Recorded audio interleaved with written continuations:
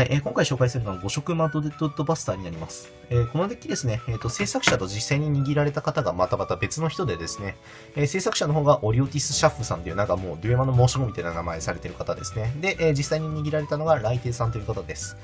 で、えっ、と、ライテイさんからレシピ、えーと提供してもらいまして、で、このデッキ面白そうだなと思って、試しに握ってみたらすごく強かったんですよ。で、そのままファミリア CS に僕が持ち込みまして、えベスト4までいけました。えーその時はちょっと構築変えまして、ガードホールを、え1枚竜神ヘビーに変えました。で、それに伴って超次元も、えーと、ディアボロスゼータとラソストームがアンタッチャブルになってます。で、まあそんなわけで、えー今回紹介するのはこちらのデッキになるんですけど、えっ、と、プレイングとの話はまた別の動画でもう出しちゃったので、そちらの方を参考にしてください。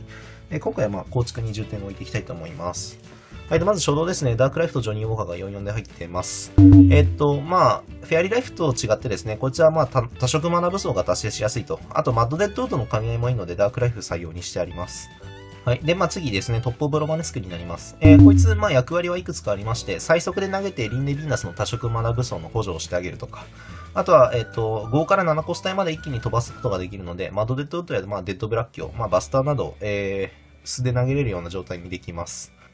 え割と有能なカードですね。色も素晴らしいので、えっ、と、まあ、ぜひ入れてみてください。で、隣ラフルルですね。まあ、ラフルル単金2枚2枚っていうのは割と5色バスターは普通の構築なので、えー飛ばしたいと思います。で、隣リンネヴィーナス3枚ですね。まあ、別に4枚、えー入れる方もあるんですけど、今回まあ、マッドデッドッドが入ってるので、まあ、どっか枠削らないといけないということで、えーここ削りました。えー普通に強いですね、えーリンネヴィーナスは。あのー本当に強い、言うことないですね。結局ですね、5色バスターって山札掘っていくので3枚でも全然引けます。はい。で、隣、イビルヒートですね。まあ、こいつはもう言うことないぐらい強いので、スキップです。えっ、と、隣、まあ、ドギラゴンマスター。これはまあ、角ですね。で、隣、ガードホールですね。えーこれなんか、来帝さんから、あまり強くないっていう話を聞いたので、今回は僕が入れた竜神ヘビーの話をしたいと思います。えー竜神ヘビーはですね、えー例えばですけど、まあ、トワ流の状況ですね。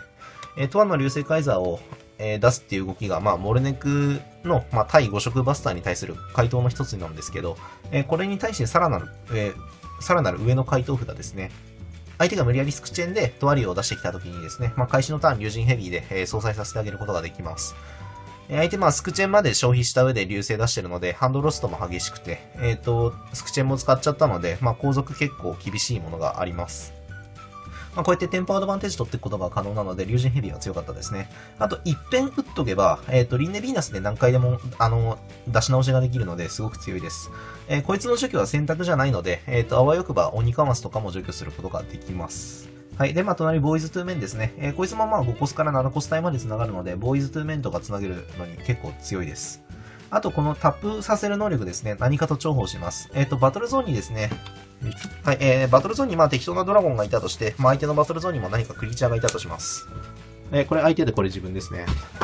で、えーここでですね、まあ、ボーイズ2面を打ちまして、えーこれタップさせると。で、えっ、と、イービルヒートでここアタックするときにバスターにチェンジみたいな。で、さらに、えーマナゾーンからなんかプラスアルファで出すっていう動きが、えー可能になります。このボーイズ2面のタップさせるっていう能力は、えっ、と、必ずしもトリガーの時だけ強いわけじゃなくてですね、えー手打ちしても、えっ、と、こんな感じで、まあ、バスターから横並びできるので、えー強いシーンはいくらでもあります。えー普通に入れて損のないカードだなと思いました。あと、ちなみに余談なんですけど、ボーイズ2面と赤黒系のカードですでに5色揃うので、デッドブラッキーのマナブスを達成するのに結構重宝します。はい。で、えっ、と、左下、マドデッドッドですね。まあ、このデッキの一つのポイントになってきます。えーこれ、まあ、入れてみてわかる強さなんですけど、えーやっぱりですね、あの、この D2 スイッチがいかれてますね。えっ、と、相手のクリーチャーをすべてボトムに送ることができるので、とっても強いです。まあ、ちなみにですけど、えっ、と、マドデッドウッドで自分のボスから短期マグナムを出した場合、相手のクリーチャーはバトルゾーンに出てきませんので、えーまあ、この辺を覚えておくといいかなと思います。で、まあ、隣短期ですね。さっき言った通りスキップします。で、デッドブラッキー3枚。まあ、割と普通だと思います。えっ、と、デッドブラッキーを持ってくる方法は、まあ、基本的に吸い込むや骨火ですね。で、えっ、と、ちょっと骨火の話をしたいと思います。骨火3枚入ってますけど、はい、えーこのデッキですね、えっ、と、まあ、先ほど言った通りなんですけど、えー初動は基本的に3ターン目に打ちます。なので、例えば2マナ溜まってて、えチャージして、で、2マナでまあダークライフ打つと。で、こんな感じで、えっ、と、5色揃えながらマナた貯めていくと。まあ、そういった動きするんですけど、はい。でですね、えっ、と、3ターン目に初動を打ちますと、次のターンですね、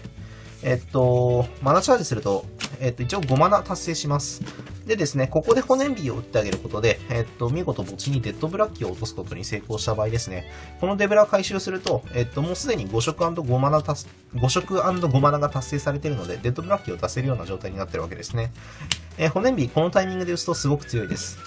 ただですね、えっ、と、先ほど言った通りなんですけど、ダークライフをもし3ターン目に打ってなかった場合ですね、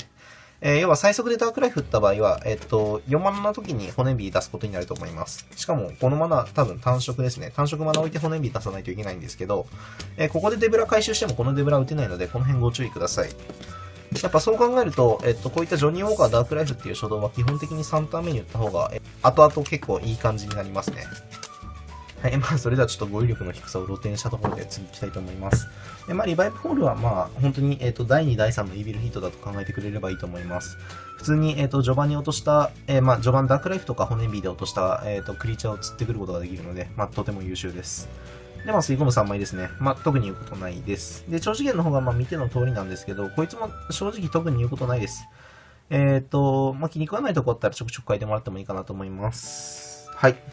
はい。えー、まあ、プレイングの方は、え、別の方の動画で説明したので、今回はこの辺にしたいと思います。ご視聴ありがとうございました。